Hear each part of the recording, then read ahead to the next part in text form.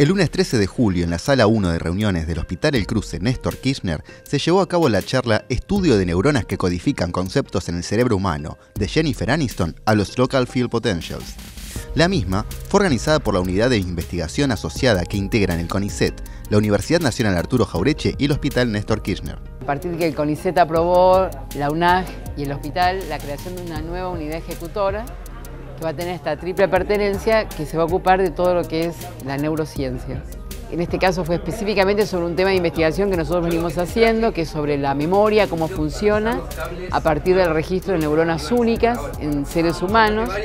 que nosotros lo hacemos con un objetivo diagnóstico para pacientes con epilepsia que van a cirugía, que lo hacemos acá,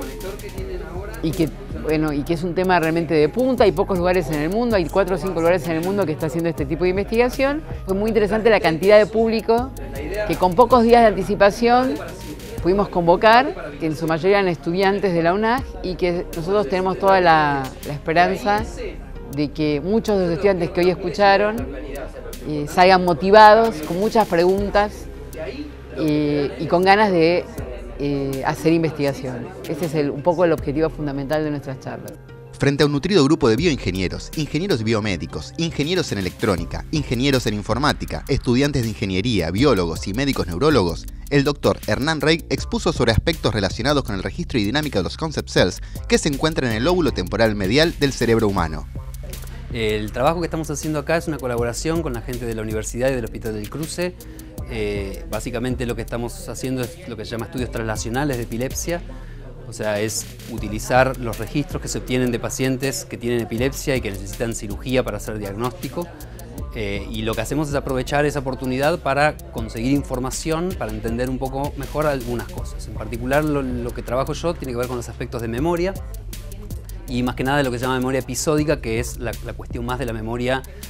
más rica, digamos, que tenemos los seres humanos. Y el, digamos, el impacto que puede tener este tipo de estudios básicamente va desde, por supuesto, entender mejor lo que es la memoria,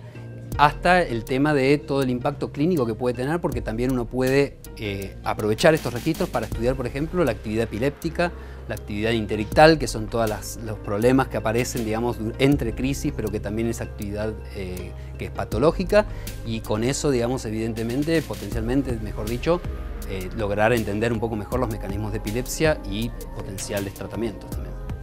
Se presentaron también algunos de los estudios que se están llevando a cabo en el Hospital El Cruce para mejorar nuestro entendimiento del rol de las concept cells en los procesos cognitivos, especialmente en memoria.